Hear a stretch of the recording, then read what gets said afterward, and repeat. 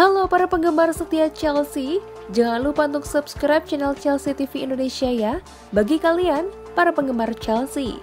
Kali ini Chelsea TV Indonesia akan mengabarkan secara spesial untuk kalian tentang berita-berita terupdate seputar Chelsea yang tentunya tidak boleh kalian lewatkan. Penasaran bakal seperti apa? Pastikan tonton sampai selesai ya Blues!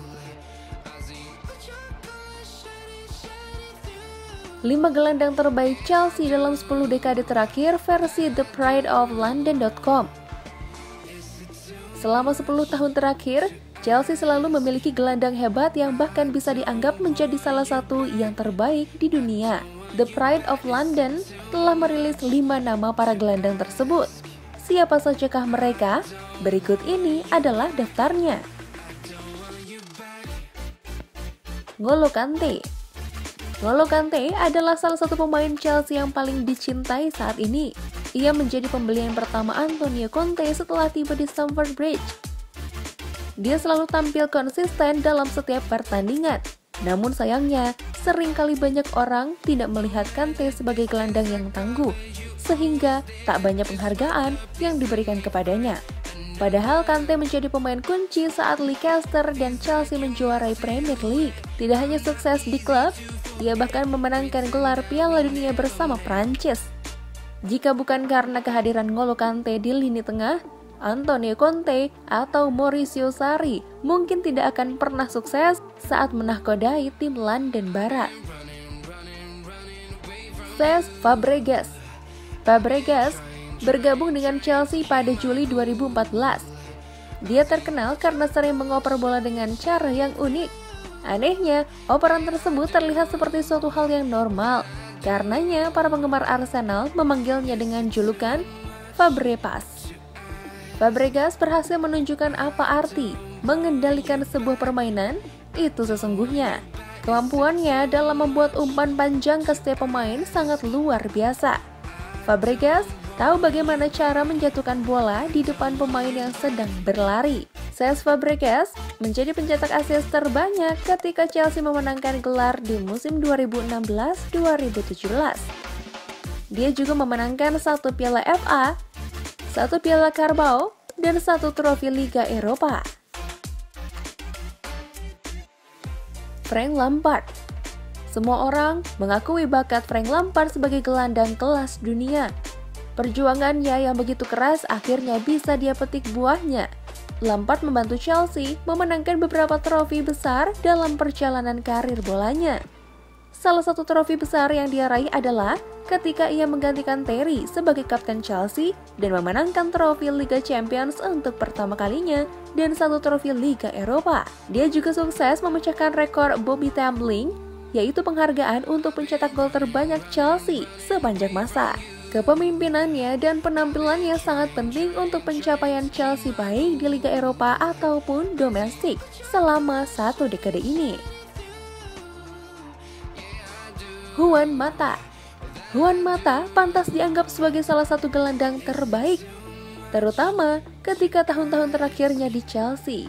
Mengingat betapa menginspirasinya dia ketika berada di atas lapangan, Juan Mata adalah pemain serang yang hebat Meskipun tidak kuat atau cepat, Mata memiliki visi yang bagus. Ia juga memiliki kecerdasan taktis dan tendangan kaki kiri yang tajam. Mata adalah pemimpin di lapangan. Visinya mungkin hanya bisa ditandingi oleh Eden Hazard. Tetapi pada akhirnya, operasinya terhadap bola berada di atas siapa pun yang ada di tim. Mata mencetak total 33 gol untuk Chelsea dan assist sebanyak 63 kali. Dia selalu menjadi pemain yang bertanggung jawab saat membangun serangan. Dengan Hazard dan Oscar di sisinya, ia tahu di mana bola harus diletakkan dan tahu ke mana harus berlari. Interaksi mereka selalu luar biasa, dan kemampuan pengambilan keputusan Mata selalu tepat. Juan Mata juga memiliki attitude yang luar biasa. Dia selalu menunjukkan rasa hormat kepada manajer dan setiap pemain Tentu, Juan Mata akan selalu menjadi sosok yang selalu dicintai di Stamford Bridge. Michael John Obi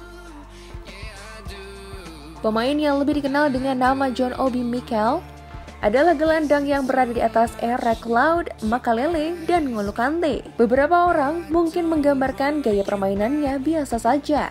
Ya, mungkin mereka ada benarnya. Tetapi fakta mengatakan gaya permainannya sangat efektif untuk Chelsea pada saat itu. Terbukti keberhasilan Chelsea biasanya datang dari solidaritas dan pragmatisme pertahanan dari sang gelandang. Dia adalah pemain yang ahli dalam melakukan hal yang benar dan bukan hal yang menarik. Ketaatannya yang kaku terhadap apa yang lebih penting untuk tim membuatnya pantas berada di jajaran gelandang terbaik Chelsea dalam satu dekade terakhir.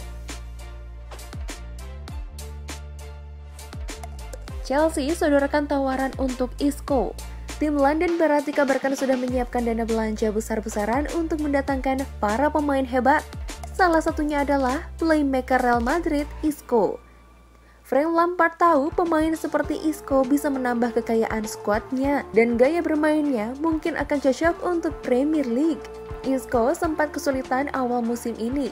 Dia jarang dimainkan Zinedine Zidane karena berbagai alasan, namun situasinya berubah akhir-akhir ini. Penampilannya mulai mencari perhatian lagi. Isco mungkin bakal bertahan setelah menyuguhkan permainan level tinggi tersebut. Kendati demikian, hal itu tidak menghentikan pergerakan Chelsea saat ini. Menurut Eldemark, The Blues telah menyodorkan tawaran 52 juta euro pada Los Blancos pada pekan ini. Tawaran Chelsea ini tentu membuat pemilik Madrid Florentino Perez sedikit tertarik dan mempertimbangkannya. Tentu Zidane akan menentangnya saat ini. Namun seiring perkembangan situasi, semuanya sangat mungkin masih bisa berubah. Izzy Brown terpilih menjadi pemain terbaik Luton FC. Chelsea memiliki pemain berusia 22 tahun yang tengah dipinjamkan ke Luton FC. Pemain tersebut baru-baru ini terpilih sebagai pemain terbaik klub di bulan ini. Tentu berita ini sangat menggembirakan, mengingat beberapa tahun yang lalu Izzy Brown mengalami musim yang sulit karena cedera yang dialaminya. Syukurlah, sang gelandang kini bisa tampil di kejuaraan lagi. Ia sekarang bisa fokus memberikan kontribusi yang maksimal kepada Luton FC yang sedang berjuang di divisi bawah. Aiki Ugbo mengalami cedera. Chelsea baru saja menerima kabar buruk dari pemain mereka yang sedang dipinjamkan ke Liga Belanda, Aiki Ugbo. Menurut laporan The Limburger, pelatih roda John Paul de Jong harus melanjutkan pertandingan tanpa pemain terbaiknya tersebut ketika melawan Heerenveen karena mengalami cedera. Aiki Ugbo akhirnya digantikan oleh Mark Riemanns. Tanpa Aiki Ugbo di squad, serangan roda tidak bertaji. Mereka akhirnya kalah 2-0. Ugba telah menjadi pemain kunci roda di liga musim ini. Ia telah mencetak 10 gol dari 18 penampilannya di Liga Belanda. Hal ini sedikit disayangkan karena Federasi Sepak Bola Nigeria sedang mengawasi Aiki Ugbo dengan maksud untuk memasukkannya di tim nasional. Mason Mount ungkapkan beberapa target golnya di musim ini. Mason Mount tampil cukup mengesankan di musim ini setelah diberi kesempatan untuk bersinar di bawah asuhan Frank Lampard. Pemain berusia 20 tahun tersebut telah mencetak 5 gol dan membuat satu assist dalam 17 pertandingan Liga Premier untuk The Blues sejauh ini. Mount telah menjadi pemain reguler di tim utama, dan Lampard telah menempatkan kepercayaannya kepadanya sepanjang musim. Gol terakhir untuk Chelsea terjadi saat kemenangan 2-1 atas Aston Villa di Liga Premier pada 4 Desember lalu. Dalam sebuah wawancara dengan majalah Chelsea, Mount mengungkapkan tentang target gol yang ingin dia capai di musim ini. Saya selalu menetapkan target 10 gol, tidak peduli dengan siapa. Saya bisa mencapainya di musim lalu. Begitu juga tahun-tahun sebelumnya. Jadi semoga saja saya bisa melakukannya juga di musim ini. Begitulah ungkap Mason Mount. Menurut Mount, semua pemain yang ingin meningkatkan levelnya juga harus meningkatkan penampilannya. Ia sadar bahwa para pemain di sekitarnya juga pasti berusaha tampil lebih baik. Dengan 10 gol yang dia tetapkan, hal itu akan membuat Mount tetap fokus dan melihat ke depan tanpa peduli level liga yang dia jalani. Itulah tadi beberapa berita terhangat minggu ini yang berkaitan dengan Chelsea. Bagaimana tanggapan kalian tentang berita-berita tadi blues? Buat kamu yang mau request, mau dibahasin sesuatu atau mau diskusi, silakan komen-komen di bawah ya. Jangan lupa like, share, dan nyalakan lonceng notifikasi supaya kalian gak ketinggalan berita terupdate dari Chelsea TV Indonesia. As always, I'll see you in the next video.